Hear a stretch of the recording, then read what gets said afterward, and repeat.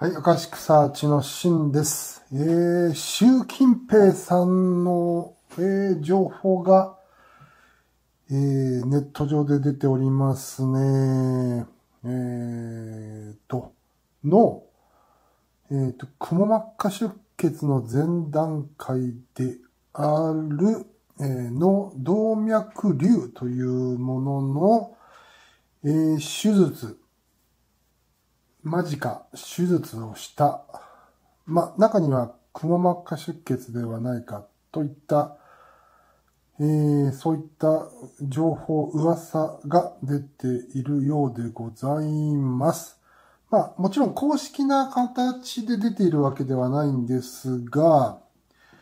えー、まあ、ガセじゃないかというところと、まあ、本当じゃないかというところが錯綜しているようなのですけれども、さあ、どうなんでしょうか？えーとね、あんまりその辺をどうのこうのと断定するとまたちょっといろいろと NG が出ますので、えー、とりあえずですね、あの、シュー近平さん、熊野プーさん、プーさんそっくりですよね。はい。えー、習近平さんが、脳動脈瘤なのかどうかというところをちょっと見てみます。えー、手術前、えー、もう手術をしたというところの言及ではなくて、そもそも脳動脈瘤なのか、なんですが、これがね、ヒットしないんですよね。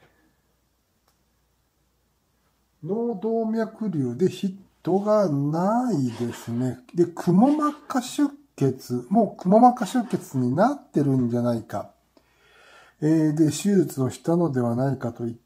た、ねネット情報もちょっとちらっと見ましたけれども、えー、彼自身がくも膜下出血も反応が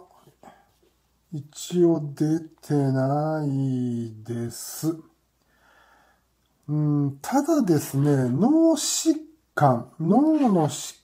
患なのかで見ると、彼自身が脳の疾患を持っているかで見ると、これはヒットしてるんですよね。